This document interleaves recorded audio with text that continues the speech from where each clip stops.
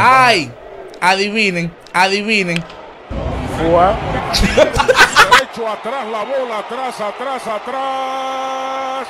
¡Qué golpe! Cuadrangular de dos carreras para Ronnie Mauricio. 4 a 0 ganan los Tigres.